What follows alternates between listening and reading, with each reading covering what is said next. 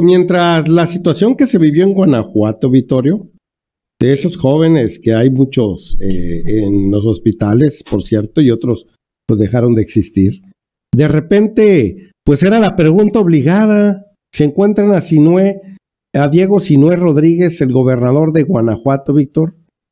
¿Y qué crees que hizo? ¿Qué crees que hizo en vez de responder a las preguntas?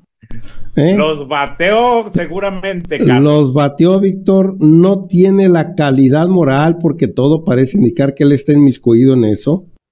Digo, son los sentimientos de culpa, que no le regaló ni siquiera ni 20 segundos para dar una respuesta. Eh, ya no digamos que esté descubriendo el hilo negro en ese momento, pero sí mínimo la atención que debería de tener con la gente del periodismo. Vamos a escuchar, Vittorio. Adelante. Vamos tarde. Vamos tarde.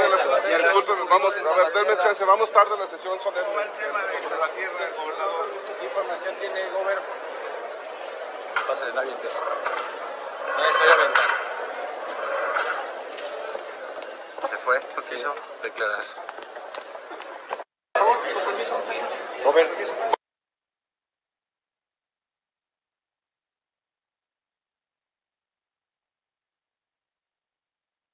Así es. Bueno, sí, de compungido. Pero eh, déjame te digo, Carlos, tanto Guanajuato como Chihuahua se negaron a recibir el apoyo del gobierno federal por parte de la Guardia Nacional y, y todo lo que eso conlleva. Ninguno de los dos estados quiso recibir el apoyo. Ahora, eh, Sinué Rodríguez eh, no sabe qué hacer con la violencia, o bien sí sabe qué hacer, pero está dejando a su fiscal local que se encargue de esta situación. Recordemos que el fiscal de, de Guanajuato, Carlos, tiene ya 14 años en el poder como fiscal. ¿Como delincuente fiscal? Sí. y este lo peor de todo, Carlos, no es eso, sino que su periodo va a terminar hasta el 2028. Oye, Vittorio. Es decir, es un delincuente, es, es, un tipo, pues, que no ha sabido cómo atacar la, delincuencia o es parte del show. Y si ves la cara de Sinue, Víctor, es de un sentimiento de culpa increíble que no quiere saber más, como si hubiera hecho una travesura el sinvergüenza, sabiendo que anda cargando esa situación que se está viviendo en Guanajuato, porque pues se le ve en su cara de tristeza, se le ve en su cara de amargura, se le ve en que ya los medios de comunicación se dieron cuenta de la situación, así que pues ahí andará cargando este sinvergüenza. Dice Hipólito, Vittorio, dice Hipólito Aventurero, regala un juguete, regala una sonrisa y apoya a Vittorio. Excelente. Eh, y recuerda que hasta algunos jóvenes panistas aquí en la, ciudad, en la Ciudad de México salieron a, a pues eh, a confrontar al presidente de la República porque la violencia en Guanajuato no para, pero no se fueron a parar enfrente del Palacio de Gobierno en, en Guanajuato, eh, no se presentaron ante ningún presidente municipal. Recordemos que los gobiernos de los estados son garantes, son obligados garantes de la seguridad de sus habitantes en el estado, Carlos. Pero pues eh, parece ser que a este señor no le interesa y nunca le ha interesado porque no es la primera vez que llega a nivel de ser el Estado con mayor número de homicidios eh, en, en un mes o en un año.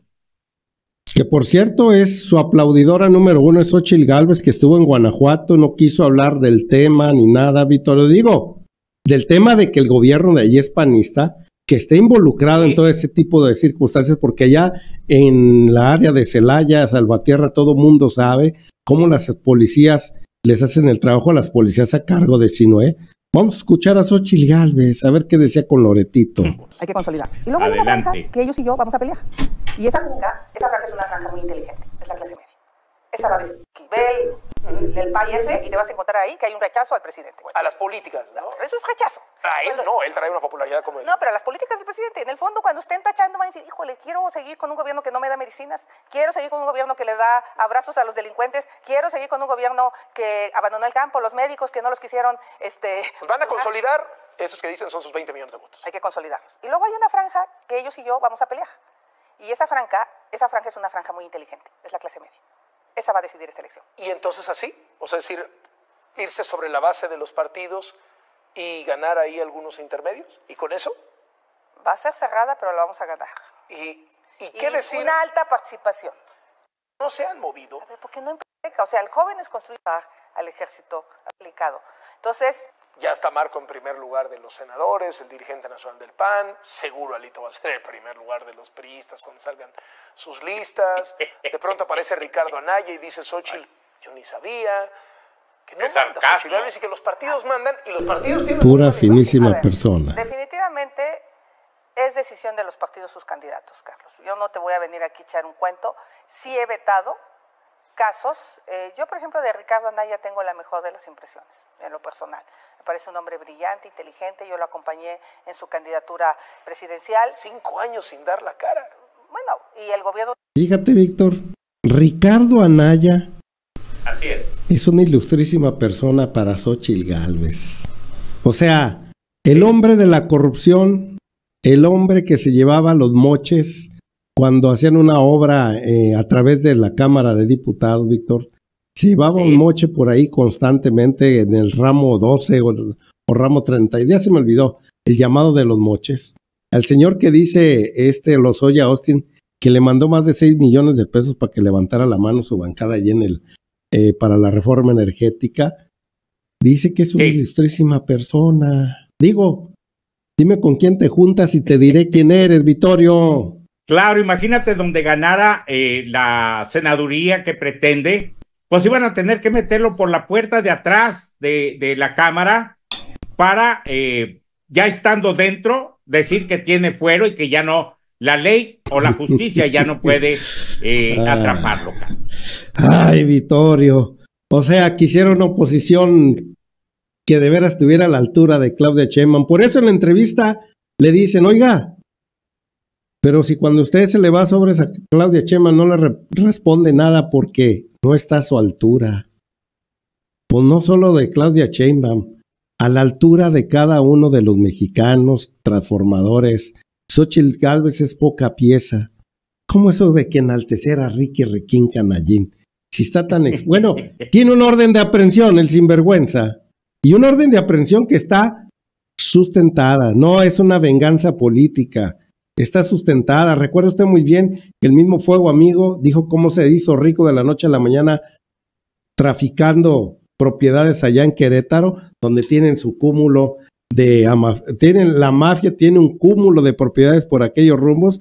Bueno, Vittorio. ¿Algo para despedirte, Vittorio?